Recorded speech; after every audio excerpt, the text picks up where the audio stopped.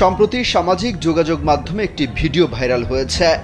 ভিডিওতে দেখা যায়, বৈষম্য বিরোধী ছাত্র আন্দোলনের সময় পুলিশের গুলিতে নিহত হয়ে রাস্তায় পড়ে থাকা অনেকগুলো লাশ একটি গাড়িতে স্তূপ করছে পুলিশ।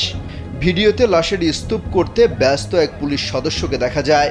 তিনি হলেন ঢাকা জেলা উত্তর গোয়েন্দা পুলিশের পরিদর্শক আরাফাত হোসেন তার গ্রামের বাড়ি বরিশালে। প্রায় দু বছর আগে ঢাকা জেলার গোয়েন্দা বিভাগে যোগ দেন তিনি। এই পুলিশ কর্মকর্তা জগন্নাথ বিশ্ববিদ্যালয়ের ভূগোল ও পরিবেশ বিভাগে পড়াশোনা করেছেন।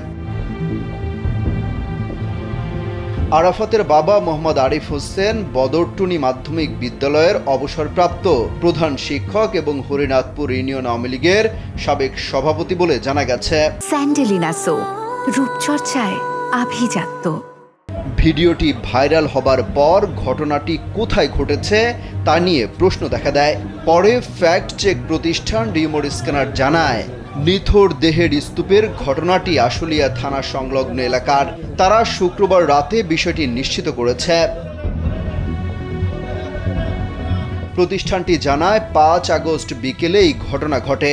এছাড়া ঘটনাস্থলের আশপাশে থাকেন এমন দুজন দাবি করেন।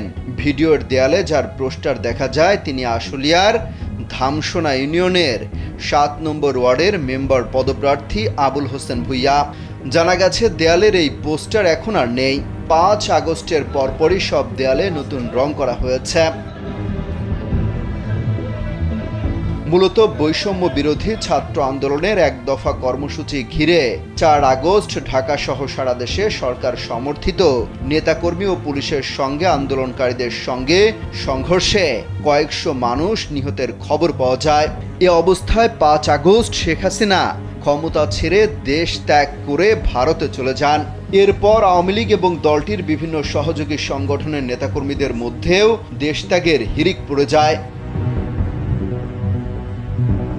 Omid Hassan Robin, Kalbela.